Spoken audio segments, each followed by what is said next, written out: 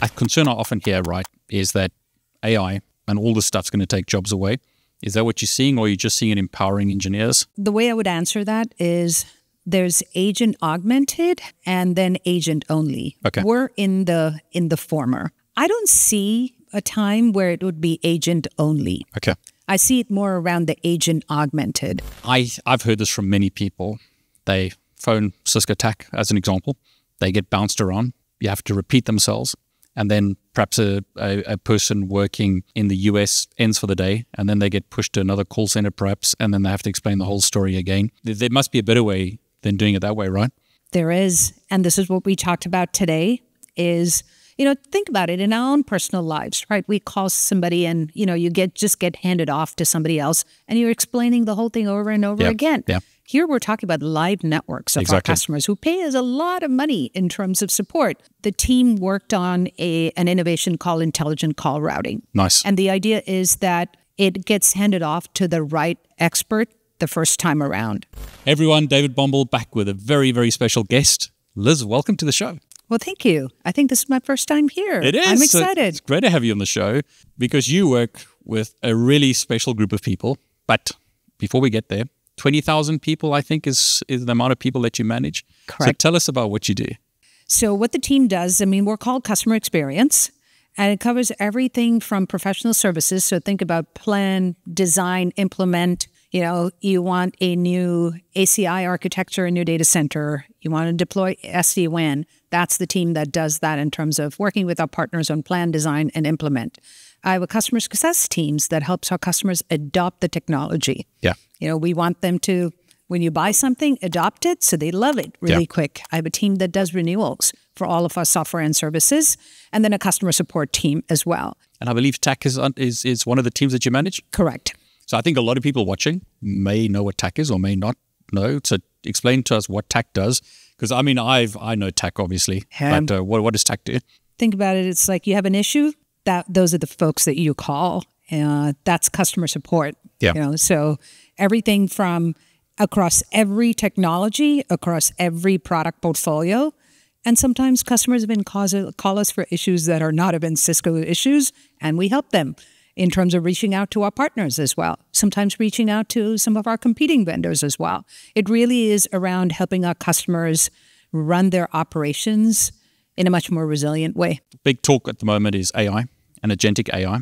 Have you seen that impact the team that you're leading? Have you seen that change the w- interactions with customers? Yeah, so I'll start with the customer part of it. You know, a lot of what we have done so far, we've used, like I would say, predictive AI and ML and automation for quite some time. It hasn't been new for us, but it's more around we built automation and uh, helped our customers with efficiency of it. But with generative AI and agentic coming, the speed at which our customers need to move Yeah. are way faster than what it was before. And so the traditional ways of how we help our customers design something, how we help our customers optimize and manage their environments, break fix and, you know, kind of reactive is not going to help. And so this is where the opportunity is like, how do we change the way we interact with our customers, the way we deliver services to them? We've got to rethink this for reactive might be a thing of the past Yeah. maybe you know at times but really the table stakes in the future is going to be where you can predict something you can anticipate things our customers are looking at us and going you have a lot of my data you have knowledge on my environment the technology is here to allow you to help me optimize like alert me to things like be that crystal ball Yep. that actually tells me, you know, it's, you know, there's a security advisory here. You haven't implemented it. Here's the potential issues, but then also do it in a hyper personalized way. Don't just give me vanilla, like, oh, by the way, you know, it's a yes or a no. Am I compliant or not? Get down to specifics on things because you can bring in context of my en- environment. So for us, I would say is we don't lack use cases because these are problems that our customers have been dealing around. You know, yes, we've improved the amount of manual work our customers do, but we want to get to a point where they don't have to do that manual work anymore. And so it's it's solving what I would say is boring operational problems that we've been circling around for years. I mean, think about like config issues. We've been around to where config issues have been around forever. 25% of our TAC cases that we get are still config issues. Is that right? And so this high. technology wow. gives us the opportunity to go from config chaos to config confidence, like almost eliminate it. So, are you using agents to check configs, or what's actually happening? So, a couple of things that we're doing is around in the planning and design and implement phases, we are using things like digitizing a customer intent. Okay. So, we know what was their design principles in mind and integrating config as part of the testing pipeline. So even before it's implemented, we are now automating and it can be replicated whether it's, you know, take a new branch, it's one branch, 10 branch, 100 branches or 1000 branches. We're automating kind of the configuration and deployment across all of this tied to that original customer intent. Just an example yeah. of that. The other one is using, you know, for example, how do we help customers with their infrastructure assessments? Here, we're taking a much more proactive approach where an agent behind the scenes is assessing things around configuration issues, configuration risk, for example, and using context of that customer's environment and best practices, alerting a customer to potential config issues that could lead to performance bottlenecks that could potentially lead to security issues. These are things that customers want in terms of that proactive approach. And when issues do happen, what we're doing with with agents is helping our own teams with like what's the next best action to take to be able to resolve those issues as fast as possible. But before where we used to do it with general best practices, now we're actually bringing in context of that customer environment because we know their account history. We know what products that they've deployed in, out there. We know kind of what are the hardening guides that are out there. Yeah. An agent can pour through all of that and provide the human with that next best action that's personalized to that customer. Is it? That's exciting. It is. I mean, it's amazing. A concern I often hear, right, is that AI and all this stuff's going to take jobs away. Is that what you're seeing, or are you just seeing it empowering engineers? The way I would answer that is there's agent augmented and then agent only. Okay. We're in the in the former. I don't see a time where it would be agent only. Okay. I see it more around the agent augmented. So we are breaking up every workflow across all of our functions, whether it's professional services or the customer success team or support for that matter, and saying, where are those repeatable you know, kind of repetitive task, whether it's around data gathering or analytics, that an agent can help do autonomously. And then where does it make sense to hand off to a human? Yeah. So for us, the human is always there. And what we're doing with agents right now is around augmentation because there's so much cognitive load on our teams. And we see this with our partner teams. We see with our customer teams as well, because in some ways we've kind of accepted that, well, you know, if I have to go to 50 different places to gather the data and really do analytics out of that to really get some insights, and then I may get context that is within silos and I've got to stitch all of this together. Well, that's just the way my job is yeah. today. Well, don't have to do that anymore. This is what an agent can do, then hand off to a human to where the human is spending more time understanding that customer much better. And then we go back to training our agentic systems in a way. It's getting better, it's learning, it's predicting, it's acting, it's taking in all this feedback loops that's coming in from our humans as well, along with all the account histories, to the point that I would like my teams to know each customer like they are our only customer. Yeah. And think about it. We have 900,000 plus customers. Yeah, exactly. And so to me, that is that the technology makes that possible. I, I've heard this from many people. They phone Cisco TAC as an example. They get bounced around. You have to repeat themselves and then perhaps a, a, a, person working in the US ends for the day, and then they get pushed to another call center, perhaps, and then they have to explain the whole story again. There must be a better way than doing it that way, right? There is, and this is what we talked about today.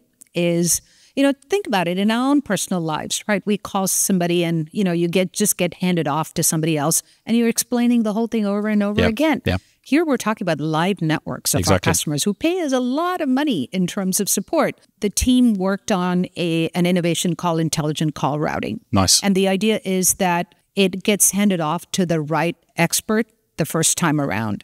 So as of this last month, I think 77% of our 1.5 million support cases are actually handed off to the right expert every single time. Wow. And our goal is to obviously hit 100%. But this is over a short period of time in terms of we just launched intelligent call routing about six months ago. So for customers, what we're seeing, and we already are getting the feedback, is no handups, Yeah. no bouncing back and forth. Yeah. Again, it's more around, you know, we're enabling, in addition to intelligent call routing, we're enabling our engineers with bringing in that context. Because an agentic system can handle that mass amount of data, update it, learn it, predict, provide the next action more than any human can. So, this is the way we're augmenting our teams as well. And what it means for us is that more cases get solved in a day. Today, about 40% of our high severity cases are solved in a day. That's cool. Yeah. My goal was 100%, but the team said, you know, there are some customers who actually call in and say, keep my case open. I said, okay, then let's do 75%. But my goal is to be able to get closer to that 100. So the intelligent call routing is that done by an agent or how's that done? It is done by an agent, absolutely. And that it's something that we internally built as well. I mean, at Cisco Live just a few months ago, I was hearing, okay, the future is going to be changed by agents, but it sounds like it's already here. It's already being implemented. It's already here. It's being implemented. And one of our customers asked today, uh, one of our partners said, hey, what about, you know, a TAC agent? Because we have a support agent today, both customer facing and, hel- and augmenting the work of our engineers. And he said, I want my agents to interact with your TAC agent. And I said, by the way, what's on the roadmap right now is, is support for MCP, support for agent to agent communication, which means when a partner is working or a customer is working in a multi-vendor environment and they they have an issue they can stand up a war room. I mean think about war rooms right? We always stood that up. A customer had an issue pretty critical network down. You have a bunch of humans around the table the future is where there's a bunch of agents around the table. And agents trigger kind of you know certain things like assessments for example. It's not a human that actually you know triggers like a security assessment. Or a security assessment is done and it's actually that triggers probably another action that an agent has to do. And i think that's the future that we are just thinking of where you know things like war rooms which was where i've grown up in is now manned by multiple agents different personas versus humans. And then you know the ultimate actions and recommendations do go to a human because i do want to emphasize that human in the loop Yeah. is so important because the agents that that we're building need to be deterministic because we're talking about live networks. Yet the technology that we're building on is probabilistic so we're putting those guardrails in, whether it is using things like RAG, whether it is using things like and and human in the loop to make sure that the outcome and the output we're providing is accurate, it's transparent, it's verifiable. In the real world, which you're working in, not YouTube world, you know, agents sound like, okay, it's just easy. Just spin up an MCP server and there you go. But there must be challenges implementing this stuff, especially at scale. Yeah, so I can think of two things that come up each and every time. One is data.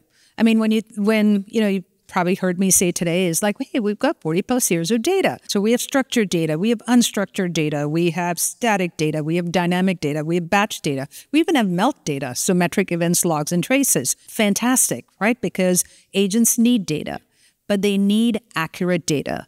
They need high quality data. And they need like a structured semantic model. Well, our data is doesn't in the real world is not that way at all. Exactly right. I mean, you're nodding your head. Yep. It sits in different systems. It's fragmented. It's mm, you know, there's data that's missing. It's it's duplicative. So frustratingly, the long pole in the tent is the amount of time that we spend just even around data preparation and data cleansing and uh, you know, kind of normalization of the data. And I think that's taken, it surprised me at the amount of time that it's taken, but it's worth. The other one is testing agents is hard to do because they vary with, uh, with each run, which is different from how we've done traditional, Yeah, you know, software ones, yeah, development. yeah. So those test harnesses need to have an underlying framework of, you know, observability, traceability, for example. So do, those are the two things that I can think of. On the cultural side, what we see is there's an excitement around what agents can do for us because we've articulated the use case and very defined metrics around it. But the mental model shift still hasn't completely Yeah. happened because our teams are used to getting tools where it's completely developed and then it's handed off. They had their mental model is very much, hey, you build it, you you build, you test, you deploy, and that's when I use. Yeah. But we're trying to explain to the majority of our teams who are sitting a little bit on the fence to say, by the way, you as a user were super helpful in us defining where agents are useful in the workflow. But you as a user are a key part of our development stack. It's not the underlying large language model and the agent framework and all the tools. You're part of that development stack. So when we put an agent out there, it's only 60% or so of the way done for us to get it to that 100% to where it's accurate. You can actually scale to like hundreds and thousands of users. We need you to use it and we need your help to actually refine it. And that mental model shift is hard for people to get there because they're like, well, if it's not completely there, there are these five other tools I can use. Yes, it's going to take me longer, but I'm just going to go around it. The second thing is there's that fear. Yeah. Every single time I talk to our teams and say, this is augmenting your work. I don't see yet where agents will replace the work that you do. In customer experience, the human is at the center of things that we do. The empathy, the emotional intelligence. I haven't seen technology being able to replicate ah. that. But I can say it many times over. The fear is still there. And what we're doing is helping people use the technology because when you use it, the fear tends to go down a bit more and you demonize it less as well. So, those are some of the challenges, both technically and culturally, that we're facing right now. I've got to ask you this question because it's another hot topic quantum computing. What's happening? So, I would say it's nearer than we talked about it a year or so ago. But I also think, practically looking at it, most of our customers' environment will be a hybrid of traditional, you know, and quantum networks as well. What we're thinking about in services is how do we help our customers assess if they're ready for Yeah. this, especially for this post quantum cryptography world. That is a big one. So, doing those assessments are one of the new service capabilities that we're building right now. So you are helping customers get ready for this because it sounds like it's coming quicker than a lot of people anticipated. Absolutely. And um, especially around cryptography, going from where they are today to a PQC world. One is the assessment, highlighting to them what changes are needed, and then helping them through that as well. Does Cisco have solutions that customers can deploy to help them solve this issue? That is what we're build, working on building today. And we can do that because we're spending less time on some of the manual work. So we're thinking about what are the new things we can help customers with. I, I always like to ask this question. If you were talking to your younger self or someone who is new to the industry, perhaps, you know, they're looking at a career path, what's your advice? So I would say is, you know, think about like the opportunities and the traditional way of thinking is gone and think about, you know, what what's your passion about and how you can actually solve problems that we've never solved before. Yeah. So there's an opportunity beyond when I started. On the other hand, I would also say is that be open to multiple experiences and learning needs to be continuous. Because sometimes as you come through your career it's almost like as you take on increasing responsibilities that learning kind of gets you know to to the side a little bit. What we're doing is we're training our teams on AI for everyone. Everyone foundational needs to have it. And then by job roles we have that as well. I take a class on the weekends. I read. I listen to podcasts. I think for me that continuous learning bit is even more important today than it ever was. And so if I would go back, I'd say, think about continuous learning and think about learning from different ways because it's not just the traditional form of learning. So that curiosity, that ambition, that drive, that resilience, that grit, and the continuous learning, I would say is that's that's what, you know, I would tell my younger self. I love that. Never stop learning, right?